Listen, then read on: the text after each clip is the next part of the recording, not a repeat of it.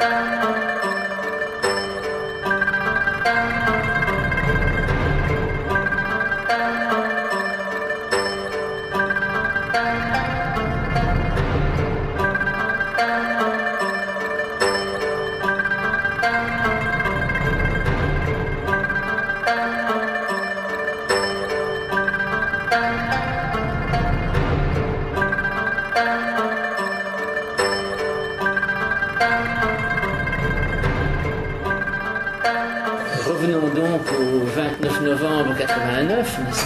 quand, euh, près de Penn, près de la frontière allemande, deux gendarmes figurent parmi les, nombreux témoins qu'il y a eu ce, jour-là et les jours suivants. Et euh, je pense que ce qui a contribué largement à déclencher l'attirance médiatique pour la vague, c'est que parmi les tout premiers témoins, le premier jour, il y avait deux gendarmes. Donc, par principe, n'est-ce pas, des gens parfaitement dignes de foi.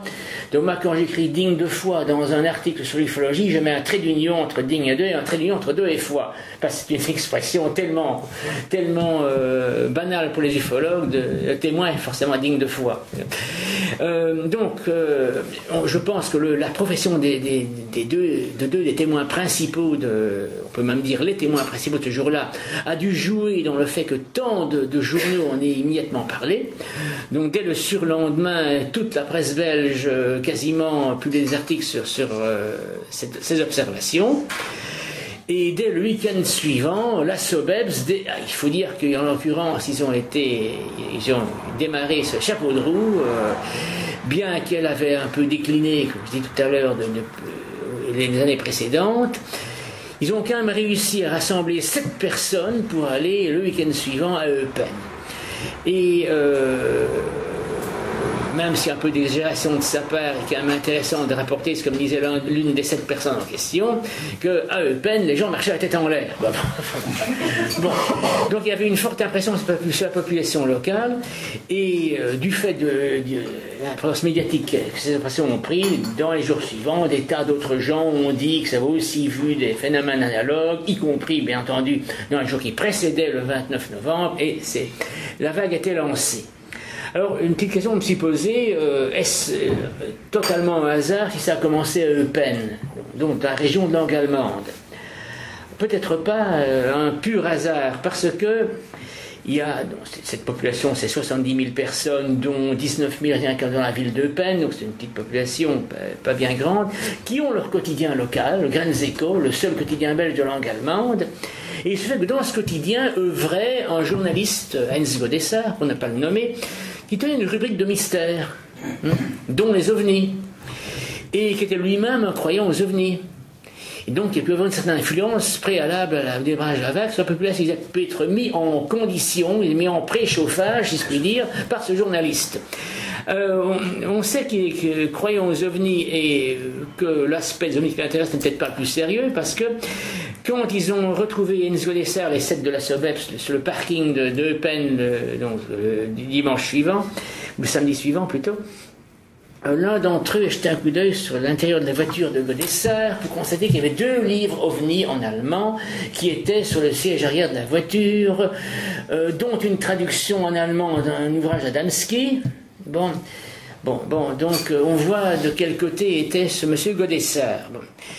Donc une influence sans doute probable sur la population de la région. Alors aussi un, élément euh, sociopsychologique qui peut avoir un rôle, c'est que pour une fois, on a parlé largement des Belges germanophones, qui sont une population paisible, qui fait, qui fait pas parler d'elle euh, habituellement. On peut se demander si euh, ça n'a pas été chez eux une occasion de, faire parler d'eux, de, de, de, fierté, je dirais, une sorte de manière de dire aux autres Belges, hey, nous existons. Hein. Ces, éléments ont pu jouer, je pense, dans le démarrage de la vague euh, du côté de Pen. Alors, les, deux gendarmes, qu'est-ce qu'ils ont vu exactement? Bon, alors là, il y a deux phases bien distinctes dans leur observation, et ont toute raison de penser ce qu'ils ont vu la première phase n'a rien à voir avec ce qu'ils ont vu la seconde phase. Et ça, c'est un, coup classique en ufologie, là je généralise un petit peu, et que bien souvent, quand on fait une enquête sur un ovni un peu complexe, on constate qu'on a amalgamé deux, voire trois phénomènes différents pour en faire un seul baptisé ovni. Et là, dans la première phase, on voit apparaître euh, ce qui va devenir le stéréotype, n'est-ce pas, du fameux triangle belge, donc avec ces, trois feux blancs euh, aux, angles et sa lumière rouge au centre. Alors, qu'est-ce que ça pouvait être exactement Il bah, faut, avouer que je pense qu'on n'a pas de, de, réelle certitude à ce sujet, même actuellement. On peut faire des hypothèses, elles ne manquent pas, j'y reviendrai plus loin. Mais une chose qui me paraît déjà certain, c'est que ces braves gendarmes ont fortement exagéré la luminosité de, l'engin. Ils disaient que ça éclairait violemment une portion de terrain en dessous de, l'OVNI. Et quand, quelques années plus tard, chaîne télé américaine est venue faire un reportage sur la vague belge et qu'ils ont voulu reconstituer euh, pour les téléspectateurs le cas, ils ont allumé de, puissants projecteurs qui dégageaient au total 140 000 watts et les gendarmes ont dit non, ce que nous avons vu, c'était encore plus, lumineux que ça? Or, ils étaient au bord d'une route. Pas une petite route euh, tout à fait secondaire, pas une grande route. C'est quand même la route qui, qui relie Eupen à Aix-la-Chapelle en Allemagne. Eux-mêmes disent qu'ils ont passé pas mal de voitures pendant qu'ils observaient. Personne, eux-mêmes le disent, personne ne s'est arrêté ni n'a ralenti, c'est pas moi qui le dis, c'est eux. Alors si vraiment il y avait une luminosité de plus de 130 000 watts à proximité, parce que c'est d'après eux, pas tellement loin de la route. C'est évident que d'autres gens se seraient arrêtés ou auraient témoigné par la suite. parmi les autres témoins de ce jour-là, du jour suivant, il y en a un qui, dit Je me suis trouvé euh, au même endroit, au même moment que les gendarmes, alors que les voitures sont passées. Bon, donc, ça, il y a au moins cela qui, peut être euh, affirmé. Alors, la deuxième phase, ces messieurs, les gendarmes rentrent à la caserne et puis repartent. Et revoilà l'OVNI. Bon. Et ça, c'est aussi classique. Les, gens ont une interruption dans l'observation, et puis, où est-il passé le Il est là? Eh bien, c'est plus la même chose, bien sûr. Bah, la seconde partie, tous les gens sérieux sont d'accord que c'est Vénus, mais bien sûr, les bons frères refusent d'admettre, d'une part parce qu'il y aurait eu environ 5 degrés d'écart entre la puissance de Vénus et celle de l'OVNI, mais comme on ne sait pas, à une demi-heure près, quand les gendarmes sont arrivés à, l'OLU observation, ça, résout le problème de, l'écart de... Mais euh, le, problème qui, a été soulevé, c'est que le. Ah oui, ajouter quand même que euh, l'OVNI disparaît au moment où Vénus disparaît à l'horizon, si c'est pas une preuve, ça, mais voilà. Le problème, c'est qu'il y avait ces fameuses boules rouges qui s'écartaient de façon régulière, à l'horizontale stricte, de part d'autre de l'OVNI, pour y rentrer ensuite. C'est ce que nous dit la, la vulgate ufologique. Le problème, c'est que euh, ces boules lumineuses, des sondes sans doute pour les ufologues, qui apparaissaient à gauche et à droite du phénomène, n'ont été définies de manière précise que lors de l'entretien entre deux gendarmes et le professeur Messen. Bon, pour ceux qui ne sont pas au courant, c'est le scientifique euh, porte-drapeau de la SOBEP, celui donc, euh, professeur retraité depuis longtemps de physique à l'université de Louvain-la-Neuve, euh, qui est un bon croyant aux ovnis, et on peut penser que ce phénomène des boules rouges est une sorte de création collective née de la conversation entre Mécène et les deux gendarmes. Parce que avant euh, ce qu'avait dit lors d'une des premières interviews qu'ils ont données, les deux gendarmes étaient beaucoup plus vagues. Ils parlaient à ce moment-là d'avoir eu l'impression indistincte que des rayons lumineux jaillissaient parfois dans tous les sens des côtés du phénomène. Là, ça pouvait être un scintillement particulièrement élevé de l'étoile, ou de la planète en l'occurrence. Mais après le passage de Mécène, c'était plus du tout ça. mais c'est quelle planète J'ai pas suivi. Pardon? Vénus, c'est Vénus, c'est Vénus. Il faut dire que Mécène, non seulement avait auprès des gendarmes le prestige d'un professeur d'université, alors les gendarmes sont déjà moralement au garde à vous sans doute, mais aussi c'est un pays, comme on dit en France pour eux. C'est un concitoyen, il est né là-bas. Il est lui-même un belge germanophone. Donc ils ont sûrement conversé en allemand, pour, peut-être même en dialectal local, si ça se trouve. Donc ils ont été mis en part, à la fois, en, il y avait le respect de Mécène, la confiance que lui inspirait ce, ce, de leur région. Tout ça donnait des conditions psychiques favorables pour que ce monde, en, toute bonne foi et sans intention d'en de, rajouter, se monte ce phénomène des, boules lumineuses. Alors donc, euh, ce que je tiens bien à préciser, que je ne dis pas hein, que les gendarmes et les témoins de vague en général, hein, d'ailleurs, sont des gens stupides ou déséquilibrés ou menteurs. Simplement, la plupart des témoins, les gendarmes comme les autres, ne sont pas entraînés à observer le ciel et, ont été pris par surprise. L'OVNI prend les gens par surprise. Quand on est pris par surprise, c'est pas l'action idéale pour raisonner sainement euh, sur ce qu'on voit. Euh, donc, quand on voit dans quelles conditions euh, un phénomène qu'on ne parvient pas immédiatement à identifier, on peut en toute bonne foi se tromper gravement sur certains détails. Euh, surtout si les circonstances ne sont pas favorables. Et c'est souvent la nuit au crépuscule qu'on a vu l'ovni belge, ou bien depuis une voiture en mouvement, ou derrière la vitre de la voiture. Tout ça n'est vraiment pas une condition d'observation. Donc il ne faut pas s'étonner que leurs déclarations ne doivent pas être prises au pied de la lettre. Mais voilà. Euh, les ufologues, euh, un petit peu comme les intégristes religieux vis à -vis des textes sacrés de leur religion, ils souffrent du syndrome du littéralisme. Et effectivement, si on considère que chaque élément du témoignage est littéralement vrai, ben alors évidemment l'ovni est irréductible du connu. Mais évidemment, il y a quelle est la chance que la description de dans telle circonstance corresponde exactement au phénomène observé? Alors, dans les jours, donc les semaines qui ont suivi l'observation de peine, les triangles ont été vus ailleurs en Belgique, euh, mais on constate euh, donc l'influence de la première observation sur ce qui suit dans une vague. En l'occurrence, la première observation était principalement, il n'y a eu pas des triangles la vague belge, mais surtout euh, dans le premier jour des triangles, surtout celui des, gendarmes, donc spécialement médiatisés.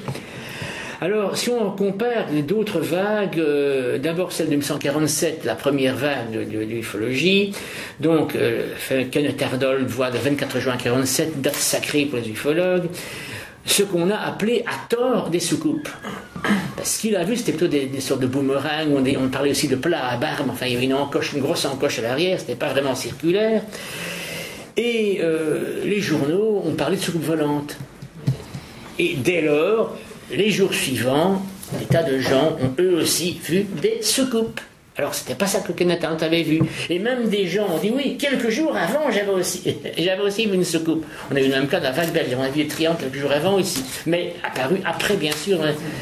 Alors en 1954, la grande vague française en 1954, l'une des plus connues au monde, eh bien elle a commencé le premier jour par, là aussi on a retrouvé des cas antérieurs par après bien entendu, par deux observations de ce qu'on appelle des humanoïdes, des extraterrestres vertus de leur. Il y a le cas de Carouble, dans le nord, le cas de Mourieras, dans, le centre de la France. Le même jour, deux observations humanoïdes. Eh bien, à la suite de ça, ces deux cas très médiatisés, bien sûr, à la suite de ça, la vague française 54 était probablement celle où il y a eu le plus de cas d'humanoïdes. Donc, influence de l'observation princeps, que je dirais en termes savantas. Bon. Mais la vague belge, il y a eu en plus l'influence de la SOBEPS. En, 47 ou 54, il n'y avait pas de groupe ufologique préexistant, pas du tout en 47, peu en 54, qui pouvait euh, faire euh, enfler les choses. Alors, la SOBEPS a contribué notamment à prolonger la vague, à l'amplifier, mais aussi à amplifier la proportion de triangles. Parce que, et ça, ça m'a été raconté par quelqu'un de la SOBEPS, comme beaucoup de choses que je vais vous dire, euh, ils y sont débordés rapidement. Ils ont ouvert un répondeur téléphonique et, qui sonnait sans arrêt. dans les premières semaines de la vague, alors ils ont dû faire un tri rigoureux. Quand on, au téléphone, ils entendaient que c'était simplement un point lumineux, une boule lumineuse, on n'avait pas, le, le, temps, les moyens d'enquêter. Par contre, si le témoin disait au téléphone qu'ils avaient vu un triangle, on allait enquêter. Donc il s'est produit une catalyse des triangles. Alors qu'en fait, les, formes sont assez variables, au-delà de cette forme générale du triangle finalement assez fréquente. Et donc, la, cohérence a été euh, à la fois du fait du tri des enquêtes et aussi dans la manière de présenter les choses, la cohérence était quelque peu forcée par la SOBEPS. Hein. Les triangles, sont tantôt très épais, tantôt très minces. Il y en a qui sont de, simples plaques métalliques, disent le témoin. Les coins peuvent être anguleux, peuvent être arrondis. Et puis il n'y a pas que des triangles. mais comme toujours une vague ufologique, si on, examine les, témoignages en détail, il n'y a pas deux ovnis identiques. Hein. les ovnis, ils sont faits à la pièce, les ovnis. Hein. ils sont faits. Chez chaque, extraterrestre commence son ovni personnalisé. Ça du côté un os, à mon avis. Hein. Enfin, bon. Alors, euh, aussi, il faut aussi préciser que si la forme triangulaire domine, c'est parce que n'importe, si vous jetez trois points au hasard sur une surface, vous avez un triangle. N'importe quoi peut faire un triangle. Donc il y a eu des cas où les, triangles sont formés par, des étoiles, notamment le cas des gendarmes, encore eux, mais pas les mêmes, du, euh, c'était le 30 mars 90, euh, donc cette, opération de gendarmes donc, euh, du côté de Perouet et environ, qui a déclenché l'envoi des, deux F-16 qui ont couru après l'OVNI, qui ne l'ont pas vu, mais il y a eu des enregistrements radar bizarres, ça, qui à eux seuls vaudraient un exposé. Donc je veux dire simplement que finalement, les enregistrements radar ont été expliqués de façon naturelle naturel, sans faire appel à des extraterrestres. Or, il y a eu des cas où c'est l'éclairage public. N'est-ce pas? Trois lampadaires euh, vus de loin, ça peut faire un ovni proche de l'horizon. Et ça, la SOBEPS elle-même le reconnaît, qu'il y a eu des cas de ce genre. Alors, euh, qu'est-ce qu'il y a eu aussi euh, Enfin, bien, bien des choses, mais surtout en, en période de vague, n'importe quoi fait un ovni. Il faut même pas que ça vole. Hein. Il y a des cas où, dans, le cas des lampadaires est, éloquent, mais c'est pas le seul cas. Dans, un cas, c'est pas la vague un cas français, mais qui est savoureux aussi, euh, une voiture euh, dont les passagers débarquaient, vu de loin, l'obscurité était un artillage d'ovni de débarquement d'humanoïdes. Hein. Ça, si. Alors, euh, bien sûr, la SOP a retrouvé quelques cas antérieurs euh, sur l'automne 89. Euh, ben, c'est aucun mystère, parce que n'importe quoi fait un triangle et que les témoins, entre-temps, qui se sont dévoilés après le 29 novembre, ont été influencés par les articles parus entre-temps. Mais ce qui est intéressant aussi, c'est qu'il y a un cas survenu à Verviers en octobre, donc pas loin de l'endroit où Wadem vague. Après, Eupen a, dérivé vers l'ouest, Verviers, Liège et puis le reste de la Wallonie.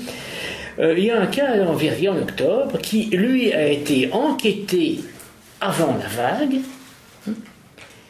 Et donc, il n'y a pas eu d'influence de la vague. Et qu'est-ce qu'on a vu à Verviers en octobre? On n'a pas vu un triangle, on a vu une soucoupe. On a vu le bon vieux stéréotype de la soucoupe, parce que le stéréotype du triangle n'était pas encore inventé. Alors, il y a aussi la durée exceptionnelle de la vague qui est à signaler, et là, on peut dire que c'est intégralement dû à la SOPS. Parce que quand se constatait un essoufflement des observations, eh bien, elle diffusait un communiqué de presse, organisait une conférence de presse, ou tout simplement donnait un coup de fil de relance à des journalistes amis, hop, un article paraissait, et c'était reparti mon kiki. Pas pour longtemps, reflétait des vaguelettes, mais enfin, ils ont ainsi pu, pu prolonger, faire, disons, la respiration artificielle à la vague pendant assez longtemps. Donc, il n'est pas abusif de parler de vague SOBEPS. Avec l'aide de ces relais de la presse, elle a entretenu et on peut même aller jusqu'à dire le mot créer la vague. Parce qu'en fait, euh, voir dans le ciel des choses qu'on ne parvient pas à identifier, ben, c'est banal. Ça arrive tout le temps, à tout le monde. Mais en l'absence d'un raffut médiatique, ben, les gens n'y prêteront pas attention, dans quelque chose de bizarre. Tiens, mais, quand il est en plein dans la vague, les gens ont un truc bizarre, ben, ils se posent la question, et certains le disent explicitement leur témoignage, et on s'est dit, mais est-ce que ce ne serait pas le fameux ovni quand tout le monde parle qu'on voit là? Et, voilà comment, à partir de l'observation n'importe quoi qui n'a pas été reconnu, on crée véritablement une observation d'ovni. Mais je suis, je suis, je, le dis tout de suite et je le répéterai encore, je suis euh, tout de même moins méchant envers la SOBEPS que, d'autres ici euh, le, sont sans doute, parce que j'insiste que pour moi, les capteurs d'Assobeps ont été inconscients qu'ils créaient des, ainsi observations, qu'ils faisaient pas que, pour eux, ils encourageaient simplement par la publication d'articles dans la presse les témoins préexistants à se déclarer. Hein.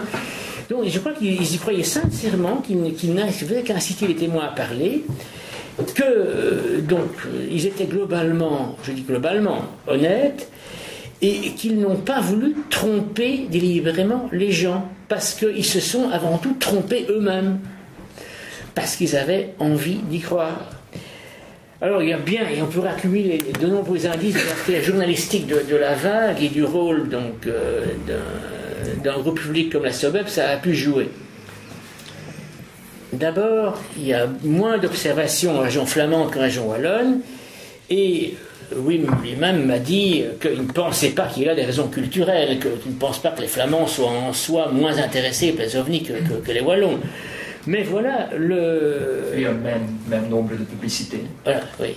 Et puis, il y a eu. La presse flamande a largement rendu compte des observations aussi. Mais la différence, c'est qu'il n'y avait pas côté flamand un groupe bien organisé comme la Soviet. La SEP, ils, ils, ont, dès le début de la vague, l'armée de SEP s'est mise en marche, s'est mise en ordre de marche, et, euh, la SOP c'est un groupe purement francophone, même s'ils ont récolté sur le répondeur des témoignages en irlandais, et même certains de leurs enquêteurs capables d'aller enquêter en irlandais, je pense quand même que les témoins flamands auront peut-être hésité de donner leur euh, témoignage à un groupement qui apparaissait comme purement francophone, craignant peut-être qu'on ne puisse pas les, accueillir dans leur langue, et je pense que c'est ça la, raison pour laquelle il y a eu moins de témoins flamands. Alors, il y a un petit groupe qui était bien organisé à l'époque, c'était UFO Belgium, mais dans Limbourg. Hein. C'était le Nufoc. C'était Nufoc, c'était Nufoc qui s'appelait. Et eux, ils ont quand même pas mal de témoignages dans Limbourg.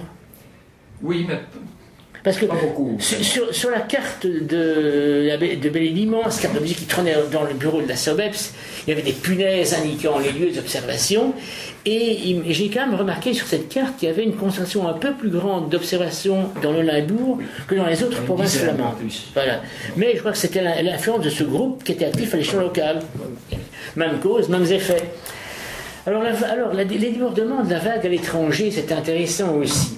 Parce que le seul endroit où il y a vraiment un débordement, c'est le département du Nord en France. Parce que, d'une part, euh, les habitants de l'île et de ses environs pouvaient capter facilement la télévision belge, et en plus, certains journaux du nord de la France appartiennent au même groupe de presse que des journaux belges du côté belge de la frontière, se sont repris des articles les uns des des autres, et donc on a vu tout de même pas mal d'ovnis à ce moment-là dans le département du Nord. En revanche, contre-exemple, dans le des Ardennes, où habitait à l'époque euh, mon ami euh, ufologue français du sceptique euh, Éric Maillot, qui est maintenant dans le sud de la France, dans le département des Ardennes, rien. Parce qu'à l'époque, c'était euh, évidemment, on, était, on est bien avant la télé, la télé par, euh, câble répandue partout. La télé belge n'était pas captable les Ardennes à cause des collines qui sont, qui sont à la frontière. Pas de pas d'informations sur la vague belge, pas d'OVNI. Et enfin, des, derniers contre-exemples, c'est côté allemand de la frontière. On s'est renseigné auprès du phologues allemand, pas d'augmentation des observations que d'Aix-la-Chapelle à l'époque. C'est Jules Douquet de la frontière. Alors pourtant que euh, les témoins disent en plusieurs cas les ovnis semblaient venir de la frontière allemande. De l'autre côté, pas de puissance d'observation. Tout, ça est extrêmement intéressant. Hein. Alors, euh, à propos des, des de la SOBEP, surtout, une question se pose. Il y a tout de même des gens qui ont un diplôme scientifique euh, parmi les, les, de la SOBEP, c'est même une charge universitaire. Bon, euh, tout de même, euh, Messen est docteur en physique, euh, Léon Brennig également. Michel Bougard avait une licence en chimie et par la suite a passé un doctorat en histoire des sciences et est devenu dès lors enseignement universitaire lui aussi. Alors, comment des gens qui ont un diplôme universitaire, en plus dans un domaine scientifique, peuvent en arriver à s'illusionner à ce point? Eh bien, je pense que c'était précisément à cause de leur, en partie à cause de leur formation scientifique. Ce sont des gens qui sont habitués à raisonner de façon rationnelle, à rencontrer professionnellement des gens qui raisonnent tout aussi rationnellement qu'eux, et je pense qu'ils ne peuvent pas se rendre compte à quel point des témoins qui sont pour la plupart sincères, honnêtes et équilibrés, peuvent, dans des circonstances rares et inhabituelles, interpréter de façon, disons, fantastique des stimuli ambigus. Prenons, le cas de l'observation euh, du lieutenant-colonel d'aviation Hamon à Hernage le 11 décembre 89. Un militaire d'un tel grade, aviateur en plus, ne peut pas, pour les la se tromper. Il a observé un phénomène aérien, donc ce qu'il a vu ne peut que correspondre à la stricte réalité. Et donc, comme certains détails fournis par euh, le lieutenant-colonel ne correspondent pas, par exemple, à un hélicoptère, et eh ben, ça ne peut donc certainement pas être un hélicoptère. Parce qu'on a affaire à un expert en engin aérien. Moi, ce que je dis, c'est que c'est totalement le fait que même un expert peut, certes moins souvent qu'un ignorant en la matière, se tromper parfois même dans son propre domaine. Moi, j'ai ma propre définition d'un expert, ce qu'elle vaut, je vous la donne. C'est quelqu'un qui, dans son domaine d'expertise, se trompe moins souvent que les autres. Mais en fait, j'ai un, dicton japonais qui, qui, marche super bien. Ils ont un dicton qui dit Même les singes tombent parfois des arbres.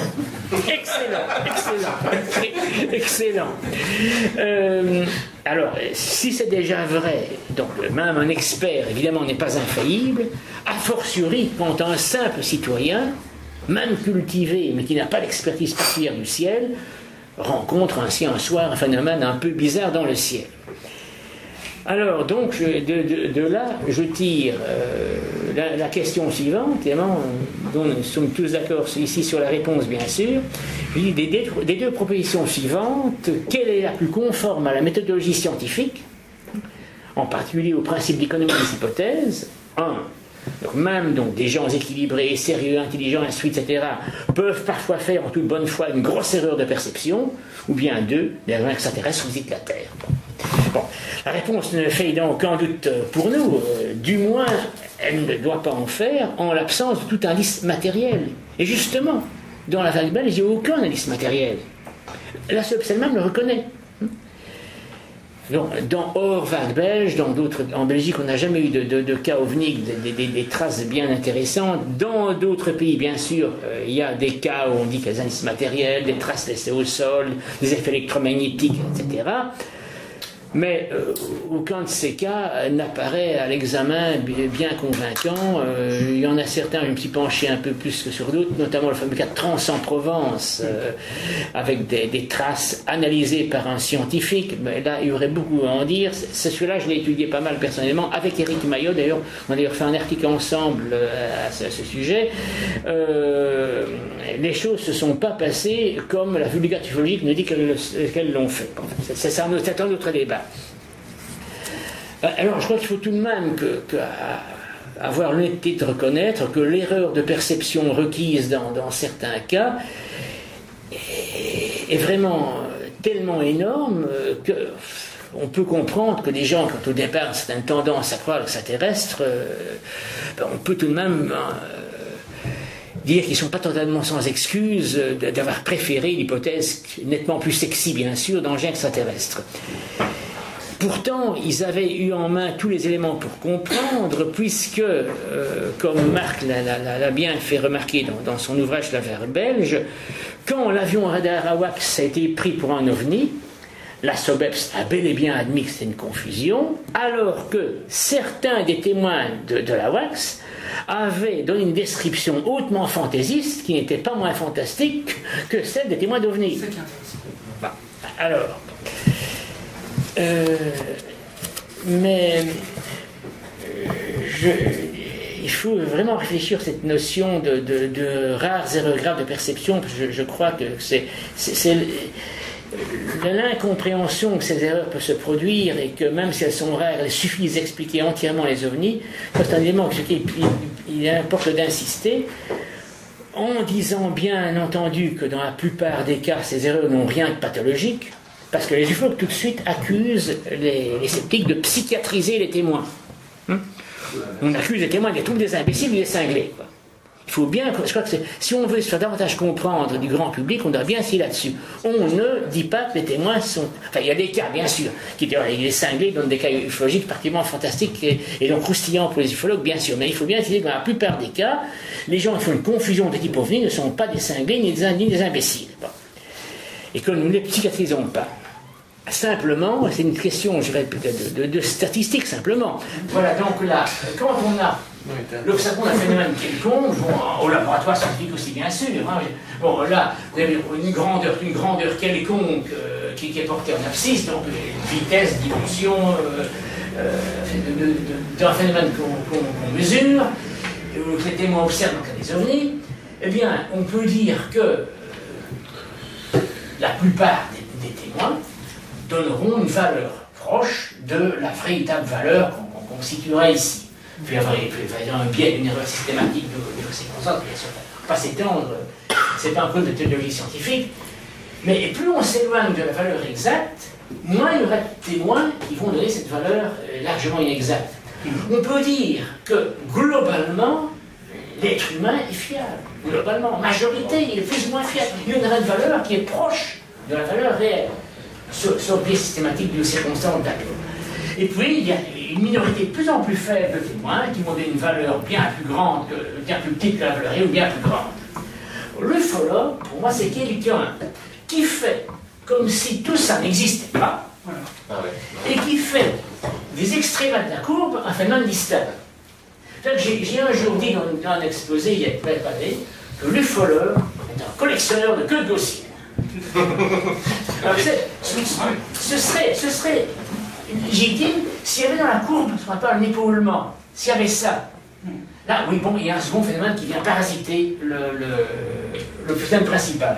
Mais ce n'est pas ce qu'on a observé, parce que là aussi, je pourrais pas m'étendre, déjà, je dépasse mon, temps de parole, mais comme on l'a constaté, mais sans le, formaliser de la meilleure manière, à mon avis, euh, c'est qu'il y a une continuité parfaite entre les cas les plus banaux et les cas les plus extraordinaires, il n'y a pas une césure matérielle. À partir de là, on quitte le normal pour arriver à la normale.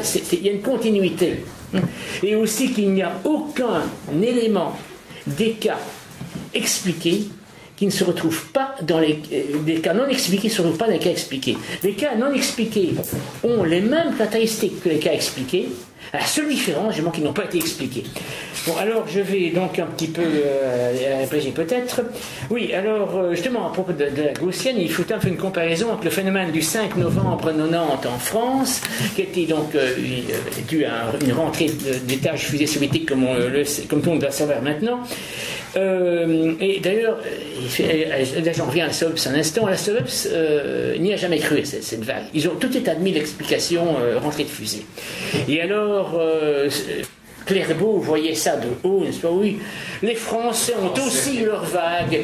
Elle a duré 3 minutes 50 secondes. Bon, bon euh, je n'en dis pas le, nombre de secondes qu'il a dit, mais c'était à peu près cela. Ici, il a pris ça très haut. Et les ufologues français ont d'ailleurs très mal pris. Hein. D'ailleurs, là, la Sobex est venue pestiférer pour notamment Joël Ménard, l'animateur de Lumière dans la nuit, hein, euh, qui, euh, depuis que Clairbeau a fait ce genre de déclaration, qui désormais, il, parle, il parlait ensuite un certain groupement belge, sans plus le mot Sobeb, c'était banni de la revue numéro de la nuit, c'est de ça. Mais là, ce qui est remarquable, c'est que il y a eu des centaines de milliers de personnes, peut-être des millions qui ont vu la rentrée de, des tâches fusées. Et les ufologues français en ont tiré, euh, parce que c'était un ovni, oui, ils admettent qu'il y a bien un attache qui est rentré, mais les extraterrestres ont parasité la rentrée de satellites. Bon. Alors, ils ont profité des satellites pour passer inaperçus. Ils sont glissés là pour passer inaperçus. Donc, les ufologues français ont retenu quelques 400 observations remarquables d'OVNI ce soir-là. Euh, alors que la trajectoire correspond, leur correspond, il n'y a pas de doute que c'est un des fusées qu'ils ont vu aussi. Mais alors, si on a des centaines de milliers, de personnes qui ont observé la rentrée de, de fusées, que 400 aient commis une grave erreur de perception est pour moi un chiffre remarquable par sa faiblesse. Parce que bien des causes d'erreur et bien des troubles physiologiques ou psychologiques vont expliquer un écart à, la réalité par rapport à ce qui est perçu et au rendu de la perception, les, les phénomènes donc, euh, physiologiques ou psychologiques qui peuvent expliquer un écart sont bien plus fréquents que 400 sur 100 000 évidemment. Donc moi ce qui m'étonne c'est qu'il y a si peu d'ovnis finalement ce soir-là. Alors de même que si des milliers de Belges ont vu des ovnis, il y a tout de même des millions qui n'en ont pas vu. Hmm. Et puis, euh, un autre argument puissant faire l'hypothèse d'erreur grave de perception est que, très souvent en ufologie, parmi un grand ensemble de témoins potentiels, il y en a un ou quelques-uns seulement d'entre eux qui témoignent avoir vu un ovni. Les autres personnes présentes auraient dû le voir aussi. Alors évidemment, on dirait qu'il y a une réticence à témoigner. Mais pendant la vague belge, cette réticence était tombée très bas. Et malgré cela, hein, il y a de nombreux cas où le témoin lui-même signale les nombreuses autres personnes autour de moi. Pourquoi personne témoigne parmi eux Alors qu'il n'y a, pas raison d'avoir peur pendant, pendant la vague. Alors, oui, alors, euh, il faut rappeler aussi que l'analogie euh, dans le passé, Marc a évoqué tout à l'heure les apparitions mariales, que dans les pieux ouvrages sur euh, le fameux miracle du soleil dansant de Fatima, c'est toujours à peu près les mêmes témoins qu'on cite, je crois, hein, la même vingtaine de témoins, je pense que l'on cite. Bon. Alors la foule était évaluée à 70 000 personnes. Alors qu'est-ce qu'ils ont vu vraiment? Tous les autres? Ont-ils tous vraiment vu la même chose? On peut se poser la question. En revanche, lors d'un vague euh, d'Action Mariale, c'était une table vague, hein, Marc a bien fait d'en parler parce que euh, ça a la même structure qu'une vague d'OVNI. Hein. Là, il y a eu un cas où de nombreux témoins bourrins, où les nombreux témoins ont cru distinguer la Vierge, c'était le pignon d'une maison vu dans la brume. Donc il y a bien là une erreur collective. Bah, toujours, toujours évidemment l'influence de l'envie de croire. donc l'ouvrage que, Marc a consulté, c'est donc l'ouvrage d'Auguste Ladon, donc euh, Une épidémie mentale contemporaine, des impressions de Belgique, euh, qui a par 1937. Je l'avais déjà eu auparavant, avant que même Marc en parle, parce que l'anecdote vaut la peine. C'était un ufologue français bon croyant qui m'avait passé une copie de l'ouvrage du docteur, c'était un médecin neuropsychiatre, je crois, qui m'a passé une copie de cet ouvrage. Oui, regardez, regarde, il y a exactement la même structure qu'une vague ufologique. Il avait raison, mais on peut le prendre dans l'autre sens. Alors, euh, je, reviens, je venais sur le, fait que la plupart des témoins sont équilibrés, même ce qu'ils disent paraît un peu fantastique. Euh, c'est que j'ai pu trouver euh, quelques études psychologiques consacrées aux témoins d'OVNI. Elles ne sont, pas assez nombreuses, il y en a trop peu. Alors, ces études ont en général montré que ces témoins ne se distinguent en, gain, en rien de la population générale. Tout au plus, certaines de ces études, et même pas toutes, hein, d'après celles que j'ai vues, montrent euh, que les témoins de cas ovnis complexes ou rapprochés tendent à avoir une imagination plus riche que la moyenne de la population. Ce qui peut évidemment expliquer qu'ils délivrent des récits plus étoffés, des détails sans doute conjecturés, euh, euh, mais ça n'a rien de pathologique. Je dirais même qu'une vive imagination, c'est quelque chose de très utile. Dans les, toutes les professions, il faut faire preuve de créativité. Alors, euh, une question que je me pose plus mal de temps, et là aussi, donc, comme, vous tous, j'ai la réponse. Donc, puisqu'il paraît qu'on méprise des témoins, qu'on les psychiatrise, qu'on les, fait, les fait passer pour des imbéciles, moi je me dis, qui méprise réellement les témoins?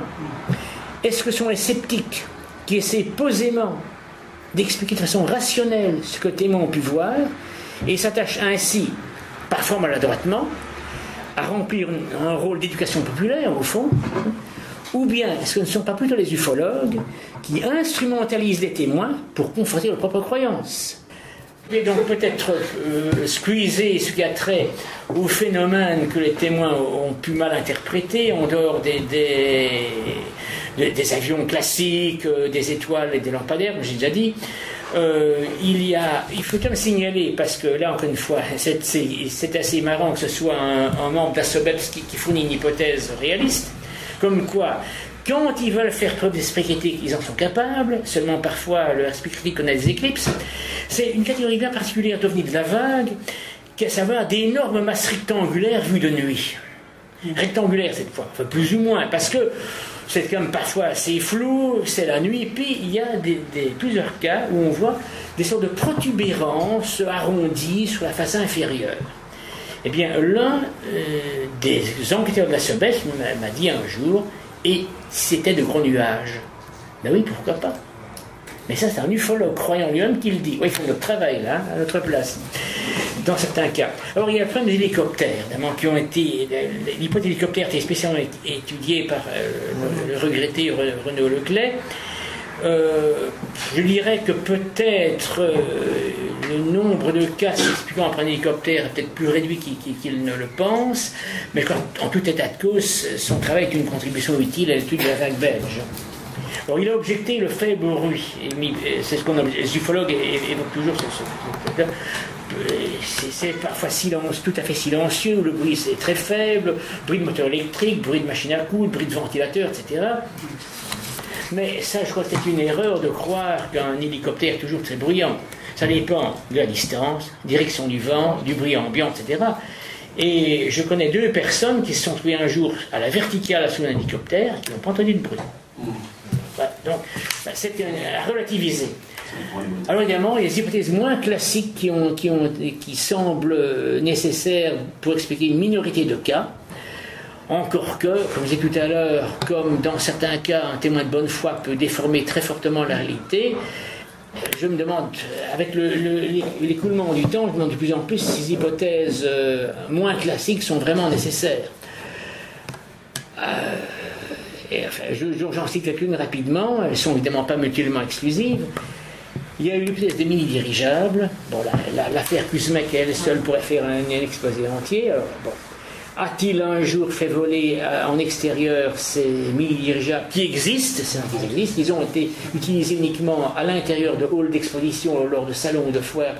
Il n'y a jamais eu l'autorisation de faire voler à l'extérieur. Certains de ces mini-dirigeables télécommandés avaient bien trois feux en triangle en dessous. J'ai vu une vidéo les présentant.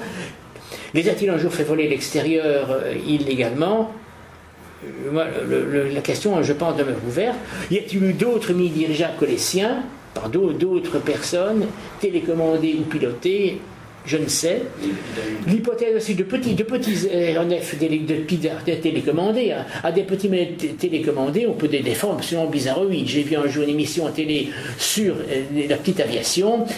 Il y avait des, formes vraiment. Il y avait notamment, pour l'anecdote, c'est pas ufologique, notamment la porte de WC volante, et qu'autrefois les WC étaient. Euh, hein, euh, au fond du jardin, comme chantait euh, euh, donc l'imitateur Laurent Gérard. il y avait une, porte en bois avec une petite fenêtre en, forme de cœur. Eh bien, j'ai vu un petit, un petit avion miniature qui, qui la télé petite, plus on peut faire de variantes, parce que euh, ça vole mieux quand c'est plus gros, une porte de WC volante. Bon, alors y a-t-il eu des, petits aéronefs télécommandés qui, euh, par des farceurs qui ont voulu jouer à l'OVNI? Pourquoi pas? Il y a l'hypothèse du LM aussi, hein, du, LM. Euh, alors, qui a été évoquée notamment à propos des, observations qui ont eu lieu dans plusieurs localités à l'ouest de Namur au soir du 11 décembre 89, le même jour que l'observation d'Hernage d'ailleurs euh, du lieutenant-colonel Lamont. Alors euh, là, le, triangle belge s'est montré complaisamment plusieurs témoins indépendants, indépendants l'un des uns des autres, donc c'est un cas béton pour la SOBEPS. Et quelques années plus tard, des sceptiques euh, ont fait observer qu'il y avait non pas un, mais deux ulmodromes à proximité. Alors, est-ce qu'on peut exclure qu'un plaisantin est placé sous un ELN, une armature légère portant des lampes? Pourquoi pas? Mais tout ça, encore une fois, je me dis, maintenant, est-ce que c'est vraiment nécessaire d'aller jusque-là? Enfin, ça a été évoqué. L'hypothèse militaire, bien sûr, qui a été largement évoquée, il faut dire un mot aussi. Elle peut être considérée comme une variante des quelques-unes que je viens de citer, parce que les, militaires eux-mêmes ont pu utiliser des mini-dirigeables, des aéronefs télécommandés ou des ULM. Hein. donc euh, tout ça peut, se mélanger. Or, on a dit qu'il y avait une base euh, américaine, enfin de l'OTAN, non loin de l'Allemagne, en Allemagne. Bah et, Voilà. là où il y a des 117 qui sont des voilà. triangulaires, noirs avec trois spots en dessous. Voilà. voilà. Alors, donc, euh, et, effectivement, certains ovnis du début de la vague semblent venir d'Allemagne. Alors oui, justement, on a évoqué les, donc les, avions furtifs. Euh, on a alors on a parlé aussi d'un test de, pénétration sur le territoire belge pour voir comment la population réagit. Si elle est d'abord s'apercevoir qu'il y a une pénétration étrangère et comment ils allaient réagir. bon. Alors oui, on a vu effectivement. Alors euh, donc. Euh, alors évidemment, dès l'instant que je fais appel à l'hypothèse de plaisantin, hum, euh, notamment à propos des, ULM ou des avions télécommandés qui pourraient porter des lumières, euh, il y a deux objections qu'on qu'on fait à cela. C'est que, d'abord, les témoins insistent sur la taille de l'OVNI et l'intensité des feux. Mais là, évidemment, des objets le soir ou la nuit sur, fond de ciel, on ne peut pas évaluer leur distance, donc pas évaluer la taille. Donc, s'il suffit que le témoin ait surestimé la distance pour surestimer aussi la taille et l'intensité lumineuse. Alors, il y a aussi l'argument qui était avant inventé s'il y a eu des plaisantins pendant la vague, pourquoi plus de 20 ans après se dévoile-t-il pas?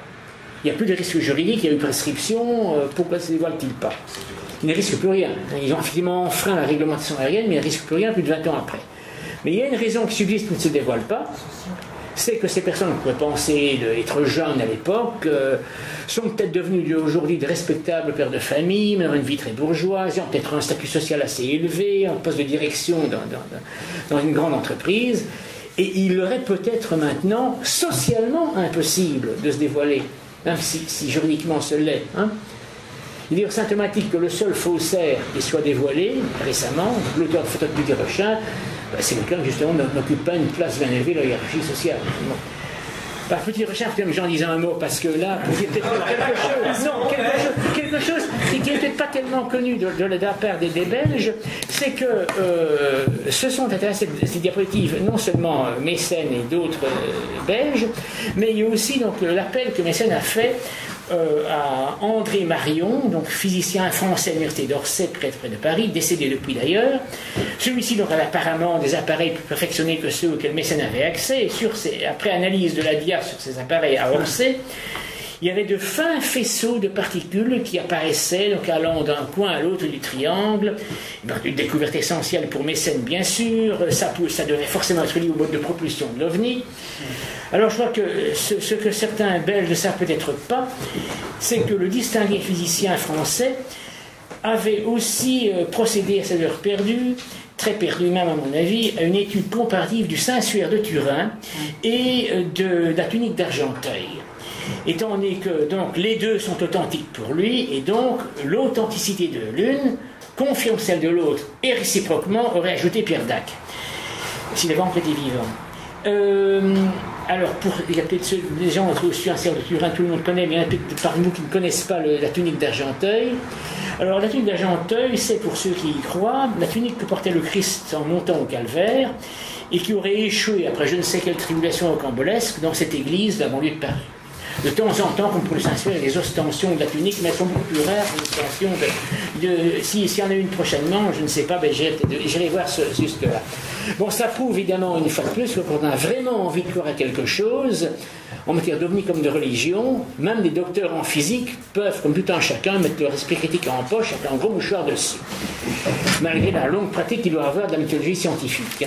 Il y a l'exemple historique bien connu, évidemment, du mathématicien Michel Charles au XIXe siècle, qui s'était fait rouler, par, était un passionné d'autographes et de manuscrits anciens, et le faussaire Vrin Lucas avait été jusqu'à lui vendre, paraît-il, des lettres de Vercingétorix à Jules César, de Jésus à Marie-Madeleine. Et le, le Michel Schall, mathématicien éminent pourtant de son temps, avait tout avalé. Alors, lettre était écrite en vieux français. En vieux français, oui, parce que Jésus et c'est s'écrivaient en vieux français, bien entendu. détail Alors, euh, de toute façon, ça ne sert à rien de dire tout ça à un ufologue, parce que chaque fois qu'on prend une objection à un ufologue, il, on peut être sûr qu'il va immédiatement trouver une contre-objection que lui croit, croit sincèrement être rationnelle et concluante. Et alors, euh, comme disait Michel Monnery, euh, donc le père de l'euphorie sceptique en France, c'est le premier qui a dit en France hein, Je n'y crois plus. L'ufologue souffre du symptôme de reine bis. Comme un chat, il retombe toujours sur ses pattes. Donc, euh, d'une part, on peut dire qu'il n'y a pas, pour moi, un manque d'explication possible, mais presque un excès. Donc le point essentiel, donc, c'est tout un chacun peut commettre euh, parfois des erreurs graves de perception, que ce phénomène est largement sous-estimé. Euh, et qu'il s'il reste des cas pour lesquels on n'a pas d'explication euh, certaine, il ne faut jamais oublier que le mot non identifié n'est pas signe d'extraterrestre. Alors que la SOBEPS, euh, c'est synonyme. Et un jour, je, disais à quelqu'un SOBEPS que même SOBEPS, ils ont quand même fait attention à certaines époques à ne pas trop utiliser le, mot extraterrestre, à dire non, on a des phénomènes non expliqués, il faut les étudier. Alors je, disais en ponte de la mais quand même, quand on gratte un peu sous la surface, l'extraterrestre réapparaît rapidement. Et ce pont de répondre, faut même pas gratter souffler légèrement suffit. Encore une fois, tout ça vient de la c'est Bon. Alors, non, la remarque par laquelle je voudrais conclure, c'est que, à ma connaissance, il n'y a plus dans le monde depuis de vagues aussi grandes que celle de, que la grande vague belge. Et déjà, celle-là n'avait d'exceptionnel que sa longueur, due à la SOBEPS, comme je l'ai montré car elle ne comporte aucun cas de, de traces physiques au sol, d'effets électromagnétiques, ni d'observation d'humanoïdes non plus d'ailleurs, comme on en trouvait dans les vagues antérieures. Donc, déjà, le phénomène ovni était moins spectaculaire qu'auparavant. Et les ufologues euh, reconnaissent eux-mêmes qu'il n'y a plus d'observations rapprochées dans les cas récents. j'avais réunion, des réunions ufologiques en France, c'est ce qui se dit, on n'a plus de, gros cas à se mettre sous la dent pour l'instant. Ah bon, Pardon À Denver, il n'y a pas longtemps, aux États-Unis ah, euh, enfin, je suis moins au courant de la situation américaine récente, mais en tout cas, en, France, les géologues eux-mêmes le disent, on n'a plus de gros cas depuis quelques années. Alors, moi, je, je comparerais ce déclin du fantastique à celui du caractère spectaculaire des miracles religieux. Simplement, le phénomène est, vécu en accéléré. Disons qu'en une cinquantaine d'années, euh, les ovnis sont passés de cas fantastiques avec opérations d'humanoïdes et rencontres euh, avec des extraterrestres, euh, conversations avec extraterrestres, enlèvements extraterrestres, etc. On est passé de là, une cinquantaine d'années, à des cas maintenant qui sont surtout éloignés. Mais les, les religieux ont connu le même déclin, mais eux, ça a pris plusieurs siècles. Quand on les vies de saints écrites au Moyen-Âge, les miracles sont fabuleux, résurrection de nombreuses personnes, etc. De nos jours, bah, on trouve des guérisons de maladies en principe incurables, mais enfin, tout médecin vous dira que, des gens guérissent parfois de manière euh, inexplicable sans qu'il y ait aucun aspect religieux dans la guérison. Donc on a en accéléré ce qui s'est produit pour, pour les miracles sur des siècles. Et donc, est-ce qu'on ne peut pas dire que la vague belge a été, je dirais, le, dernier grand feu d'artifice, euh, le bouquet final d'un phénomène culturel en voie d'effacement?